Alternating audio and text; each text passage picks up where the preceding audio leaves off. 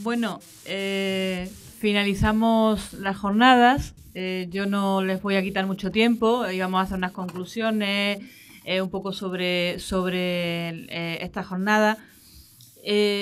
pero no, no voy a tardar media hora, no se preocupe.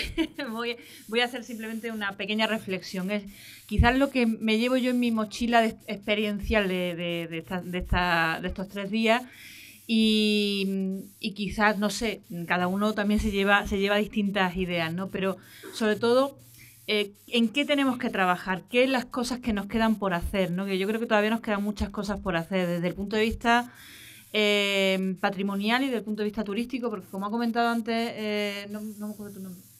Eh, una de las cosas que, hay es, esas cajas, ¿no? esos espacios en los que parece que no, confluye nada y sin embargo tendrían que confluir. Yo todavía no entiendo cómo hay muchos ayuntamientos que no unen cultura y turismo. Por ejemplo, eh, y, que el, tema económico no esté también vinculado a esto, ¿no? Porque son estudios que se deben, se deben de hacer y se deben de, tener una, una, reflexión y una, un parar y decir esto se tiene que hacer de esta manera, ¿no? Entonces, primero sería el, unir esos espacios, ¿no? que están ahora separados, aunque deberían de estar, eh, deberían de, trabajar en, conjunto, ¿no?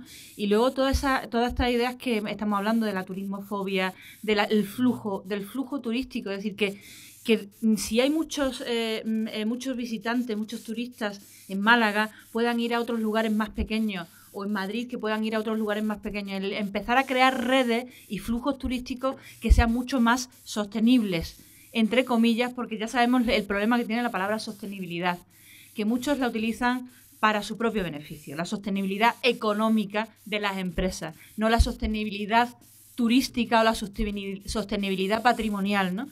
Y empezar a, quizás a utilizar ya ese, ese término que creo que, que, se ha ido afianzando en la jornada, que es el de turismo responsable, ¿no?